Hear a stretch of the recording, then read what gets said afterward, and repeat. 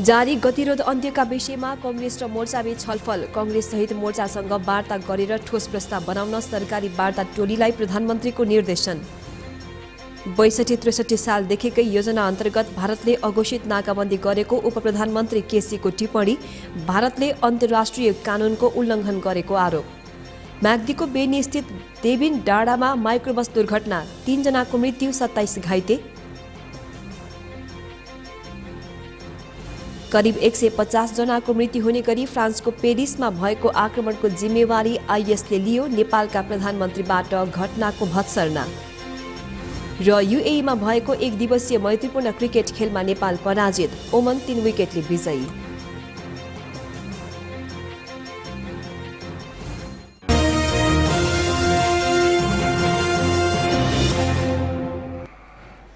नमस्कार सगरमाथा समाचारमा स्वागत छ। म गरिमा राणा समाचार अब विस्तारमा।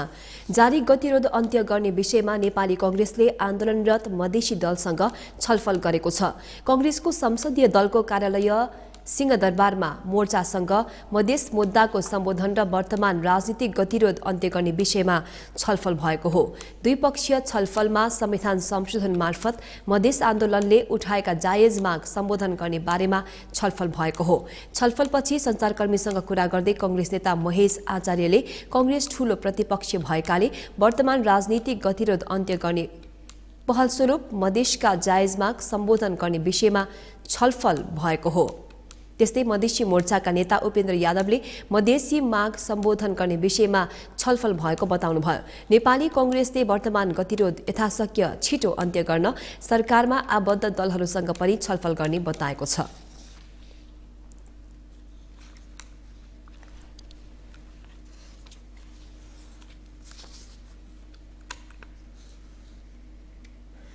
उप प्रधानमन्त्री तथा गरिबी निवारण मन्त्री चित्रबहादुर केसीले भारतले नेपालमाथि लगाएको नाकाबन्दी दुई हजार बैसठी त्रिसठी सालदेखिकै ग्रान्ड डिजाइन भएको टिप्पणी गर्नुभएको छ। काठमाडौँमा भएको साक्षात्कारमा उप प्रधानमन्त्री केसीले नाकाबन्दी गरेर अहिलेको समस्या निम्त्याउन भारतले दुई हजार बैसठी त्रिसठी सालदेखि नै ग्रान्ड डिजाइन बनाएको टिप्पणी गर्नुभएको हो। उहाँले लामो योजना बनाई भारतले नेपालमाथि नाकाबन्दी गरेकाले नाकाबन्दी खुल्ने समय निश्चित नभएको बताउनुभयो। कसैको सबैको चाहना र इच्छा पूर्ति गर्नका लागि राज्य पुनर्संरचना र सीमाङ्कन गर्न नसकिने भन्दै उप प्रधानमन्त्री केसीले गलत नियत साथ ल्याइएको तराईका बाइस जिल्ला छुट्याउनु पर्ने माग स्वीकार नहुने पनि स्पष्ट पार्नुभयो।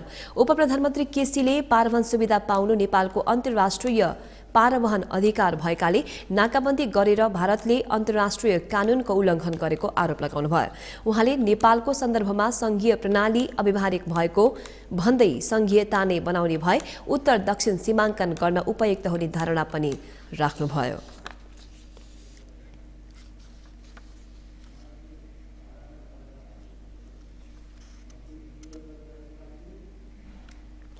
समाचारमा एकैछिन विश्राम विश्रामपछि नागदीको बेनीस्थित देविन डाँडामा माइक्रोबस दुर्घटना तीनजनाको मृत्यु सत्ताइस घाइते। करिब एक सय पचासजनाको मृत्यु हुने गरी फ्रान्सको पेरिसमा भएको आक्रमणको जिम्मेवारी आइएसले लियो नेपालका प्रधानमन्त्रीबाट घटनाको भत्सर्ना। र नाकाबन्दीको बहानामा व्यापारीहरू दैनिक उपभोग्य सामग्रीमा चर्को मूल्य असुल्दै नियमनकारी निकाय भने मौन।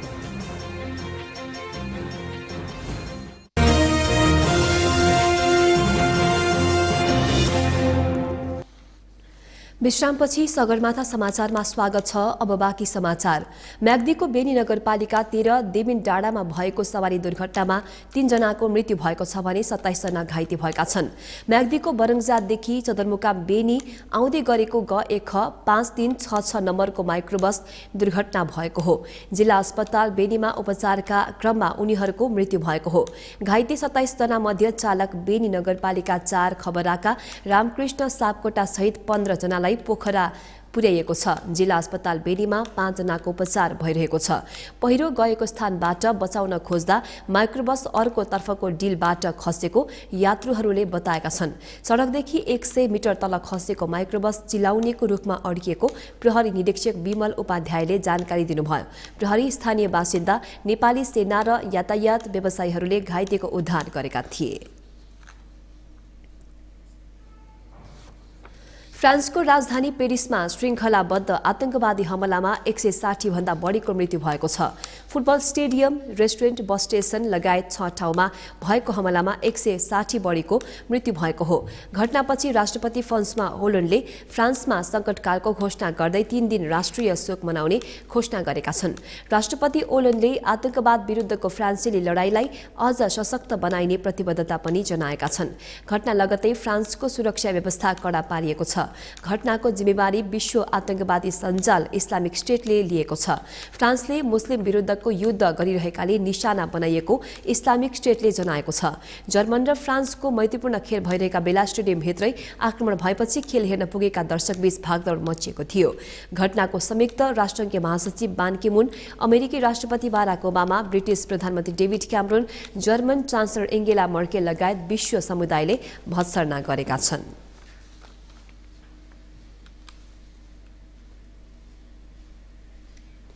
यसैबीच प्रधानमन्त्री केपी शर्मा ओलीले पेरिसमा भएको आतंकवादी हमलाको निन्दा गर्नुभएको छ। फ्रान्सेली राष्ट्रपति फन्स ओलनलाई शोक सन्देश पठाउँदै प्रधानमन्त्री ओलीले पेरिस आक्रमणलाई प्रजातान्त्रिक व्यवस्था विरुद्ध भएको बताउनु भएको हो। यसैबीच परराष्ट्र मन्त्रालयले पेरिसमा भएको आक्रमणको निन्दा गरेको छ र आतंकवादी आक्रमणमा कोही पनि नेपाली नपरेको जनाएको छ।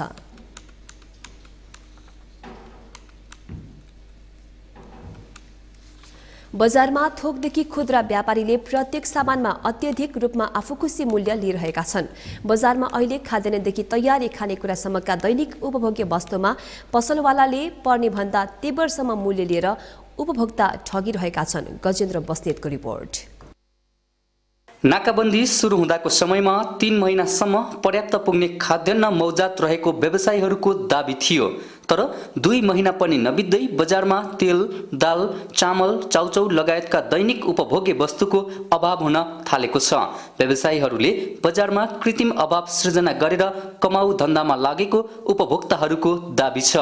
नाकाबन्दी सुरु हुनुभन्दा अगाडि व्यापारीले के भनेको थियो भने तिन महिनालाई हामीसँग यथेष्ट मात्रामा खाद्य सामग्री हामीसँग जगेडा छ भनेको थियो। र यथेष्ट मात्रामा जगिर छ भनिसकेको अवस्थामा बजारमा हामीले त्यहाँ आफैले हाम्रो मञ्चले गरिएको अनुगमन आन्तरिक अनुगमनको क्रममा हामीले के भेटायौँ भने मूल्य अनुगमनको क्रममा र वितरणको सम्बन्धमा हामीले के पायौँ भने व्यापक रूपमा चरम अभाव सृजना गरिएको छ। बजारमा उपभोग्य वस्तुको अभाव मात्र होइन महँगी पनि उत्तिकै चुलिएको छ। कुन सामानमा कतिसम्म मूल्य वृद्धि? चामल पच्चिस किलोको बोरामा तिन सयसम्म मासको दाल प्रति किलो साठी रुपियाँसम्म सनफ्लावर तेल प्रति लिटर एक सय रुपियाँसम्म तोरीको तेल प्रति लिटर एक सय रुपियाँसम्म जिरा प्रति किलो पचास रुपियाँसम्म। किन बढ्यो त महँगी? होलसेलबाट खुद्रा सामान ल्याउन ढुवानीका लागि बढी खर्च हुने भएकाले मूल्य बढी लिन बाध्य भएको व्यवसायीहरूको तर्क छ। उपभोक्ताहरू भने महँगीसँगै कालो बजारी बढेको दावी गर्छन्। कतिपय ठाउँहरूमा अब व्यापारीहरूले पनि अलिअलि केही अलिकति मूल्य वृद्धि गर्ने त्यो अवस्था आएको छ र सर्वसाधारणहरूले अलिकति दुःख पाएका छन्। भएको सामान पनि लुकाइएको हो कि जस्तो होइन? त्यसैले गर्दाखेरि सामानहरूको चाहिँ अब अभावै छ। यता वाणिज्य तथा आपूर्ति व्यवस्थापन विभाग भने व्यवसायीले कृत्रिम अभाव सृजना गरेर उपभोक्ता ठगेको पाइएमा कडा कारवाही गरिने दावी गर्छ। कारवाही गर्छौँ। हामी कारवाहीको लागि हामीलाई नेपाल सरकारले हामीलाई त्यही जिम्मेवारी दिएर खटाएको हो। हाम्रो चाहिँ पदीय दायित्व संस्थाको दायित्व पनि त्यो हो। त्यो दायित्व निर्वाह गर्नलाई हामीले कुनै जे भए पनि अहिले उपभोक्ताहरू दोहोरो मारमा छन्। त्यसैले असहज परिस्थितिका नाममा मूल्य वृद्धि गरेर उपभोक्ताको ढाड सेक्ने प्रवृत्ति रोकिनुपर्छ। सगरमाथा टेलिभिजनका लागि क्यामेरा ब्युरोका साथ गजेन्द्र बस्नेत काठमाडौँ। नुवाकोटमा बढी भाडा लिएका सवारी साधनलाई कारवाही गरी प्रहरीले पीडित यात्रुलाई रकम फिर्ता गराएको छ। जिल्ला ट्राफिक प्रहरी कार्यालय नुवाकोटले विभिन्न स्थानमा जाँच गरी बढी भाडा तिरेका यात्रुलाई रकम फिर्ता गराएको हो। काठमाडौँबाट नुवाकोट जाने तीन नाका र जिल्लाभित्रको छोटो दूरीको यातायात सञ्चालन हुने स्थानमा जाँच गरिएको थियो।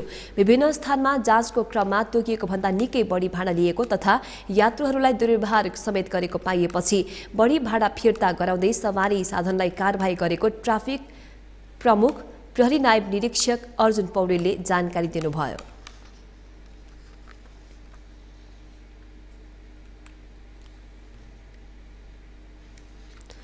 रोजगारीको खोजीमा युवा शक्ति विदेश पलायन हुँदा ग्रामीण क्षेत्रमा कृषि मजदुरको अभाव हुन थालेको छ। खेतीयोग्य जमिन बाँझिँदै गएका छन् भने कृषि उपजको उत्पादन लागत बढेको छ। सन्तोष गौतमको रिपोर्ट। श्रम गर्न सक्ने जनशक्ति विदेशिँदा गाउँमा मजदुर अभाव भएको छ। मजदुर अभावले गाउँघरका खेतीबारी बाँचो बन्दै जानुका साथै कृषि उपजको उत्पादन लागत बढेको छ। अर्म पर्व गरेर खेतबारीको काम गर्ने सामाजिक चलन जोगाउने धौधौ परेको छ। धान गहुँ मकै कोदो बाली लगाउने र भित्राउने बेलामा कृषि मजदुरको अभाव खड्किएको छ। खेतबारी खनजोत बालीको गोडमेल र भित्राउने समयमा मजदुर नपाएर निकै दुःख हुन थालेको छ। स्कुले बालबालिका महिला र वृद्ध वृद्धहरूमा खेतबारीको कामको भार परेको छ। अहिले भन्नुपर्दा हजुरको अब युवा सर्कल जति सबै विदेश पलायन। अब गाउँमा भनेको एउटा बालबच्चा र वयोवृद्ध मात्र तपाईँ। त्यसमा पनि यस्तै वयोवृद्धहरूलाई यसो अर्मपर्मको रूपले हामीले अब यो त्यसरी खेतीबालीलाई उठाउने कार्यक्रम गरिरहेको छ। काम गर्ने मान्छे नपाएपछि धेरैले घरदेखि टाढाको खेतबारीमा बाली लगाउन छाडेका छन्। धान मकै गहुँ कोदो फल्ने खेतबारी बाँचिएर झाडीमा परिणत भएका छन्। जिल्ला कृषि विकास कार्यालयका अनुसार तिस हजार आठ सय छेपन्न हेक्टर खेतीयोग्य जमिन रहेको म्याग्दीमा मकै खेती हुने एघार कोदो दस र जौ तथा उवा खेती हुने जमिन पन्ध्र प्रतिशत बाँझो बनेको छ। सुविधाभोगी जीवनशैलीको प्रभाव र बसाइ सराई वृद्धिले गर्दा एकातर्फ मजदुर नपाउने र महँगो ज्यालाका कारण कृषि उपजको उत्पादन लागत बढ्न सस्तोमा पाइने आयातिक खाद्यान्नसँग प्रतिस्पर्धा गर्न नसक्दा कृषक मर्कामा परेका छन्। रोजगारमा चाहिँ विदेशतिर जाने गरे हामीसँगहरू यहाँ चाहिँ जनशक्ति चाहिँ घटेको छ। उत्पादन चाहिँ बढी भएको छ। त्यस कारणले गर्दाखेरि समस्या चाहिँ परेको छ। खेतीमा काम गर्ने मजदुरहरू चाहिँ पाइँदैनन्। विदेशिएका छन्। गर्दाखेरि समस्या चाहिँ देखिन्छ यो उत्पादनको लागतमा कस्तो असर गर्छ? लागतमा असर छ।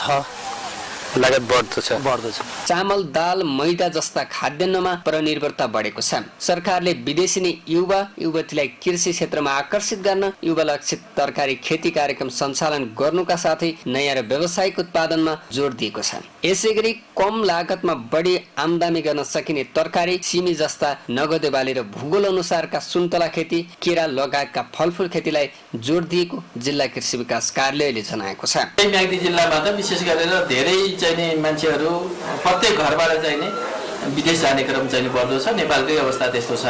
यसले गर्दाखेरि कृषि श्रमिकहरू असाध्यै चाहिँ नि न्यून रहेको अवस्था पाइएको छ। यसलाई अब न्यूनीकरण गर्ने भनेको नै मेकानाइजेसन हो। त्यसो भएर अब चाहिँ नि कतिपय धान रोप्ने गहुँ रोप्ने मकै रोप्नेदेखि लिएर विभिन्न किसिमका सस्ता चाहिँ नि मेसिनहरू पनि चाहिँ नि उपलब्ध हुँदैछन्। यसै गरेर काट्ने छुट्ने पनि चाहिँ मेसिनहरू उपलब्ध छ। र अब यसलाई चाहिँ नि प्रशय दिन सकिएन भने यो समस्या समाधान गर्न अहिले तुरुन्तै चाहिँ नि निकै गाह्रो छ। त्यसो भएर हामी चाहिँ नि मेकानाइजेसनमै जानुपर्छ भन्ने एक लाख तेह्र हजार जनसङ्ख्या रहेको म्याग्दी जिल्लाबाट करिब तिस हजार युवा युवती विदेशिएको अनुमान छ। म्याग्दीका सत्ताइस हजार परिवार मध्ये नब्बे प्रतिशत घरका कम्तीमा एकजना विदेश गएका छन्। मजदुरको अभावको सामना गरिरहेको कृषि क्षेत्रलाई यान्त्रिकीकरण आधुनिकीकरण विविधीकरण र व्यवसायीकरण गरेमा उत्पादन लागत कम भई कृषकलाई राहत मिल्ने देखिन्छ। सगरमाथा टेलिभिजनका लागि म्याग्दीबाट सन्तोष गौतमको रिपोर्ट। तराईवासीको महान पर्व छठ धुमधामका साथ मनाउन मधेसवादी मधेसवासी जुटेका छन्। तराईका विभिन्न जिल्लाका साथै सप्तरी सदरमुकाम राजविराजका विभिन्न स्थानमा रहेको नदी पोखरी र खोला नालालाई सफा गर्ने र पूजाघाट बनाउने काममा स्थानीयवासी जोडतोडका साथ लागि परेका छन्। सप्तरीबाट एमके माझीको रिपोर्ट। बन्द र हडतालले अस्तव्यस्त बनाए पनि तराईवासीको महत्त्वपूर्ण चाड छठको रौनक पनि बढेको छ। तराईका बजारमा छठी मैयाका मैथली हिन्दी र भोजपुरी गीतहरू घन्किएका छन्। बाटो बिजुली बत्तीले रङ्गीचङ्गी बनाइएका छन् भने स्वागतद्वार निर्माण भइरहेका छन्।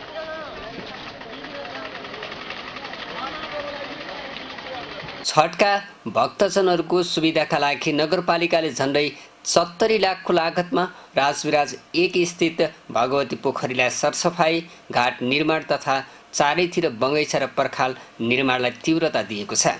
नगरपालिकाले छठका लागि जिल्लाका अन्य पोखरीमा पनि सरसफाई गर्ने भएको छ। राजविराज नगरपालिकाको अधिकार क्षेत्रभित्र रहेको यो धार्मिक स्थल धेरैभन्दा धेरै भक्तजनहरूको चाहिँ आस्थाको केन्द्र यो भगवती पोखरी पोखरीको हामीले कायाकल्प कायापलट गरेका छौँ। यो पहिला चौतर्फी रूपमा फोहोरहरू बग्ने फोहोरहरू फाल्ने केन्द्रको रूपमा थियो र एक दिन छठको दिन मात्रै छैठको दिन मात्रै यहाँ चाहिँ सरसफाइ गरिन्थ्यो र पूजाआजा गरिन्थ्यो। भने अब यो यसलाई आकर्षक र तिन सय वर्ष दिने दिनेको लागि एउटा पर्यटकीय रूपमा मनोरम स्थलको रूपमा राजविराजको केन्द्रबिन्दु रूपमा हामीले यसलाई निर्माण गरेका छौँ। सप्तरीको हनुमान नगर भारदह कञ्चनरूप शम्भुनाथ कठौना लगायतका स्थानका जलाशयहरूमा समेत सरसफाइ तथा पूजाघाट बनाउने काममा स्थानीय भक्तजन जुटेका छन्। छठ पर्व तराईवासीको मात्र नभई पहाडी समुदायको पनि पर्व बनेको छ। धार्मिक सहिष्णुता र आपसी सद्भाव बढाउँदै पहाडी समुदायहरूमा पनि उल्लेख्य रूपमा सहभागी हुन थालेका छन्। यो पर्वले समाजलाई एउटा सद्भाव कायम गर्ने काम गरेको छ। यसमा सबै समुदायका व्यक्तिहरू धर्ममा के अरे मा आस्था राख्नेहरू एकै ठाउँमा एउटै पोखरीमा जम्मा भएर यो छठ पर्वलाई जस्तो भनाइ छ। के अरे अस्ताउँदो सूर्य र उदाउँदो सूर्यलाई अर्घ दिने प्रचलन परम्परा रहेको छ। त्यसले गर्दाखेरि यस पर्वमा पहाडे के अरे त्यसपछि गरिब धनी हर समुदायका हर के अरे गरिब धनी सबैलाई एउटा समानताको पर्वको रूपमा नै यसलाई लिएको हुनाले यो परम्परा धेरै वर्षदेखि हामीले मनाउँदै आइएको छ र वास्तवमा यो एउटा सामाजिक सद्भाव कायम गर्ने पर्वको रूपमा छठ पर्वलाई लिइन्छ। सूर्यको पूजा आराधना पनि मनाइने यो पर्व आफ्नो परिवारको सुख शान्ति र समृद्धि र दीर्घायुका लागि गरिने ज्योतिष आचार्य पण्डित राजकुमार शास्त्री बताउँछन्। यसपटक मङ्गलबार साँझ अस्ताउँदो सूर्य तथा बुधबार बिहान उदाउँदो सूर्यलाई अर्घ्य दिनु उपयुक्त हुने उहाँहरूको भनाइ छ। वास्तविक रूपले चाहिँ हिन्दू संस्कृतिको नाममा जुनसुकै चाहिँ रुल रेगुलेसन रुट छ भने त्यो चाहिँ साइन्टिफिक खोज हो वैज्ञानिक कारण हो। त्यस कारणले वास्तविक सूर्यलाई अर्घ दिएर मान्छे हामी चाहिँ सम्पूर्ण रोग सोगबाट मुक्त हो भनेर चाहिँ यो आशाको साथ चाहिँ अर्घ दिने व्यवस्था छ। यो चाहिँ खास परम्परा हो र महत्त्वपूर्ण पनि त्यही हो। यसरी सबैजनालाई छठको माहौलले तताए पनि आन्दोलनरत मधेसवादी दलका नेता तथा कार्यकर्ताहरूमा छठ पर्वलाई लिएर खासै उत्साह देखिएको छैन। उनीहरू आन्दोलनलाई छठ पर्वपछि अझ सशक्त बनाउने योजनामा छन्। छठ पर्वको कुरा गर्नुभयो। हाम्रो आन्दोलनकै अवस्थामा छठ पर्व अब जस्तै दसैँ दिपावली सबै हाम्रो आन्दोलनकै क्रममा हाम्रो यो पालिको अ, एउटा चाहिँ उत्सव नभएर उत्सवमा हामी नलागेर आन्दोलनकै क्रममा हामी मनाइराखेको अवस्था छ र मनाइराखेको आन्दोलनकै क्रममा मनाइराखेको छ। यो आन्दोलन हामी जारी नै रहेको छ र हाम्रो यो सरकारले जायज माग जुन छ हामीहरूको जायज माग सम्बोधन गरेन भने हामी यो छठ पछाडि फेरि हामी सशक्त आन्दोलन गर्नेछौँ। यही हाम्रो अहिलेको आवश्यकता पनि हो। र बुझाइ पनि हो। छठको तयारी रौनक बढ्दै गए पनि छठ पूजामा प्रसाद र पूजा सामग्रीको रूपमा प्रयोग हुने सामानको केही व्यापारले मनपरी मूल्य कायम गरेको उपभोक्ताहरूको गुनासो छ। यसमा चाहिँ कुनै आश्चर्य मान्ने कुरो होइन। यो अढाई तिन महिनाको बन्द र हडतालको बहानामा धमिलो पानीमा माछा मार्ने काम व्यापारी वर्गबाट भएकै हो र उपभोक्ताहरू कालाबजारीमा चाहिँ ठगिएकै हो। छैठ पर्व जस्तो दसैँ तिहार जस्तो बेलामा नागरिकहरूले चाहिँ तपाईँको सुलभ ढङ्गबाट र उचित ढङ्गबाट चाहिँ सामग्रीहरू सुपथ मूल्यमा पाउनु पर्नेमा सरकारी निकायबाट पनि त्यसको नियन्त्रण भएन र अनुगमन पनि भएन जसको कारण व्यापारीहरूले अत्याधिक मूल्य चाहिँ सृजना गरी उपभोक्ताहरूलाई ठग्ने क्रम चाहिँ बढेकै हो। आन्दोलनकारीको यस्तो योजना रहेकोले प्रहरीले विशेष सतर्कता अप्नाएको छ छठ पर्वमा पूजा स्थलमा श्रद्धालुको भिडलाई दृष्टिगत गरी विशेष सुरक्षा योजना बनाइएको प्रहरी उपरीक्षक भीम प्रसाद ढकालले जानकारी दिनुभयो। हामीले यो छठ पर्वलाई लिएर सुरक्षा योजना विशेष रूपमा बनाएका छौँ र विशेष गरिकन सप्तरीको राजविराजमा मुख्यतः चार ठाउँमा यो छठको चाहिँ जमघट हुन्छ। त्यस्तै माताहतका अन्य ठाउँहरूमा पनि जमघट हुने ठाउँहरू अ, एकिन गरिकन हामीले त्यो बमोजिम सुरक्षा योजना बनाएका छौँ। र पुलिस परिचालनको हकमा विशेष गरिकन भिडभाड हुने ठाउँहरूमा महिला प्रहरी पुरुष प्रहरीहरूलाई त्यहाँ पिकेटको रूपमा चाहिँ व्यवस्था गरेका छौँ भने मोबाइल पैदल मोबाइलको व्यवस्था गरिएको छ। त्यस्तै गरेर गाडी मोबाइलको पनि व्यवस्था गरिएको छ। स्थानीय जुन पूजा आयोजकहरूसँग समन्वय गरिकन के कस्तो समस्या हुनसक्छ भन्ने कुरालाई चाहिँ ध्यान दिएर पुलिस हेल्प डेस्कको पनि हामीले ठाउँ ठाउँमा व्यवस्था मिलाएका छौँ। तराईवासीको महत्त्वपूर्ण पर्व भएकाले छठ तराईमा धुमधामका साथ मनाइन्छ। सप्तरीमा मात्र होइन तराईका अन्य जिल्लामा पनि छठको यसरी नै माहौल तातेको छ। सगरमाथा टेलिभिजनका लागि सप्तरीबाट एमके माझीको रिपोर्ट। अब अर्थ समाचारको पालो।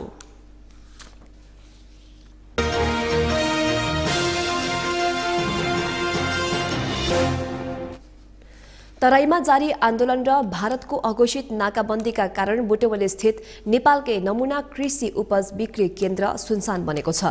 भारतबाट आयात हुने तरकारी तथा फलफूल ठप्प प्राय रहेको सो केन्द्रमा हाल दैनिक कारोबारमा सत्तरी प्रतिशतले गिरावट आएको छ। मिना ढकालको रिपोर्ट। तराईमा जारी आन्दोलन र भारतको नाकाबन्दीले रूपन्देहीको बुटौली स्थित कृषि उपज केन्द्र अचेल सुनसान बन्दै गएको छ।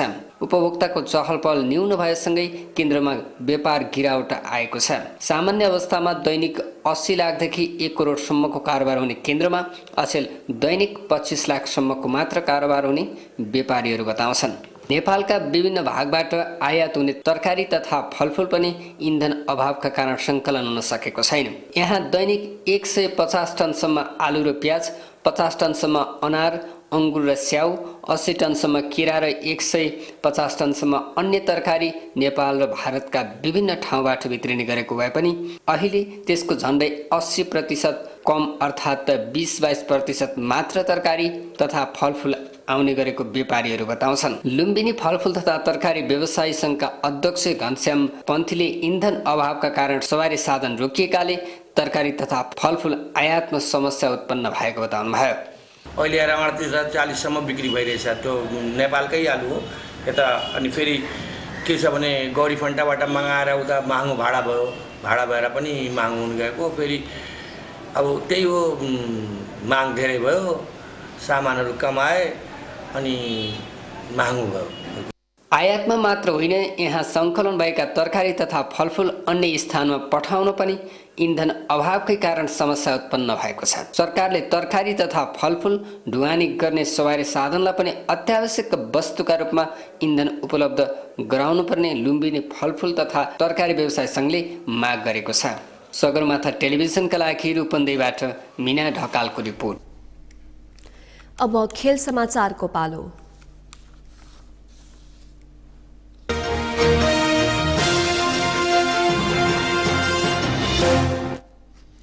एक दिवसीय मैत्रीपूर्ण क्रिकेट खेलमा नेपाल ओमनसँग पराजित भएको छ। युएको सिख जायत रङ्गशालामा भएको खेलमा ओमनसँग नेपाल तीन विकेटले पराजित भएको हो। एक सय पचासी रनको सामान्य चुनौती पछ्याएको ओमनले निर्धारित पचास ओभर सकेन। एक बल बाँकी छँदा सात विकेटको क्षतिमा लक्ष्य भेटाएको हो। ओमनका लागि जिसान मक्सवदले बावन्न र जतिन्द्र सिंहले एकचालिस रन बनाएका थिए। नेपालका लागि शक्ति गौसनले तीन तथा मेहबुब आलमले दुई विकेट लिएका थिए। यसअघि टस हारेर ब्याटिङ गरेको नेपाल नेपालले खराब प्रदर्शन गर्दै उनपचास दशमलव तीन ओभरमा सबै विकेटको क्षतिमा एक सय चौरासी रन मात्र बनाउन सक्यो। नेपालका लागि उपकप्तान ज्ञानेन्द्र मल्लले सर्वाधिक एकहत्तर रन बनाएका थिए। त्यस्तै कप्तान पारस खड्काले उनपचास रन बनाए। नेपालका सुरुवाती ब्याट्सम्यान सुभाष खकुरेल दुई रन र नरेश बुढाए नौ रनमा आउट भए। ओमनका लागि बिलाल खानले चार र खवार अलीले तीन विकेट लिएका थिए। आइसिसी विश्व क्रिकेट लिग च्याम्पियनसिप अन्तर्गत पपुवा न्युगिनीसँग खेल खेल्नु अघि नेपालले अन्य राष्ट्रसँग खेल्न लागेको यो तेस्रो खेल हो। यसअघि नेपालले हङकङसँग दुई दिवसीय खेलमा बराबरी खेलेको थियो भने पाकिस्तानसँग पराजित भए पनि प्रशंसापूर्ण प्रदर्शन गरेको थियो। त्यस्तै युएको स्थानीय क्लबसँग भएको खेलमा भने नेपाल विजय भएको थियो। नेपाली आइसिसी विश्व क्रिकेट लिग च्याम्पियनसिप अन्तर्गत पपुवा न्युगिनीसँग नोभेम्बर सोह्र र अठार तारिकमा खेल्दैछ।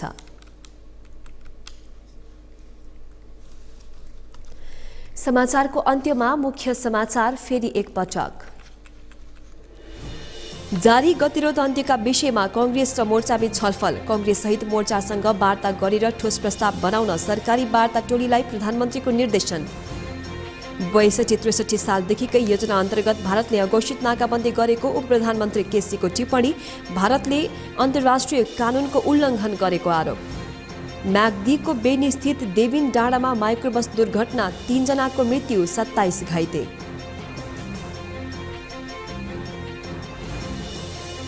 करिब एक सय पचासजनाको मृत्यु हुने गरी फ्रान्सको पेरिसमा भएको आक्रमणको जिम्मेवारी आइएसले लियो नेपालका प्रधानमन्त्रीबाट घटनाको भत्सर्ना।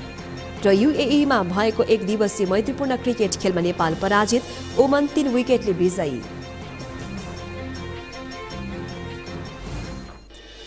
हवस् त। सगरमाथा समाचार अहिलेलाई सकियो। तपाईँ समाचार बुलेटिनका साथै सगरमाथा टेलिभिजनका सम्पूर्ण कार्यक्रम W W W dot Sagarmatha dot टिभीमा पनि प्रत्यक्ष हेर्न सक्नुहुनेछ। समाचारको शिखर नेपालको गौरव नेपालको पहिलो न्युज च्यानल सगरमाथा टेलिभिजन हेर्दै गर्नुहोला। नमस्कार।